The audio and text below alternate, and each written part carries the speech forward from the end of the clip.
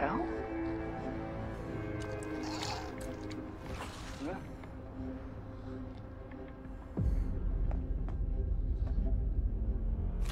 Do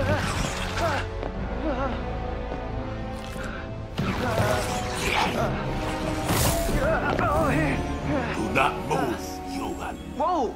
Hold on. I'm I'm not here to hurt anyone. Okay, I'm just here looking for. Uh... God, shit!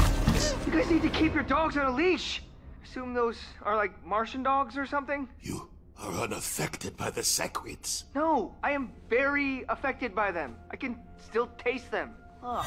Other humans in white, are they like you? The astronauts? I mean, kinda, but not exactly. Wait, you know where they are? And you speak English? We speak Martian.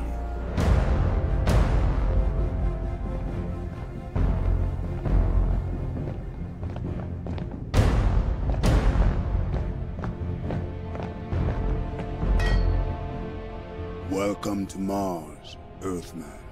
Thanks for having me, Marsman, Mr. Marsman, sir, Your Highness.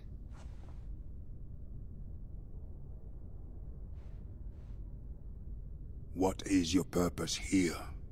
It's funny, uh, I was sent to protect some of my fellow Earthmen on a mission to your lovely planet, and if they don't get back in one piece, I'm really gonna look like a dick. Oh, hey guys,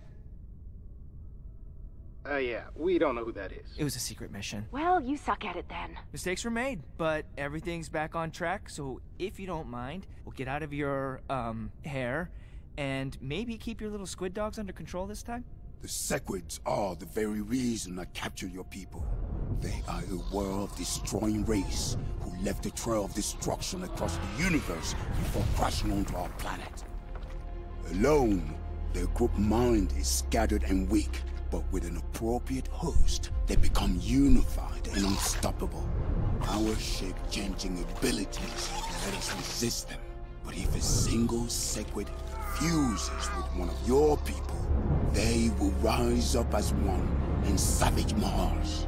And soon after, Earth. Oh. Tell me, Earthman, how are you able to resist them? I'm part Viltrumite. Ever heard of us? I am the Emperor of Mars. Of course I've heard of you! Okay, well then you know we like to help out wherever we can, which is why I was sent to protect these astronauts. So if you're all good, we'll finish our science and head home. Impossible! The humans are scheduled for immediate execution. We cannot risk them coming in encounter with a Sequid. I understand.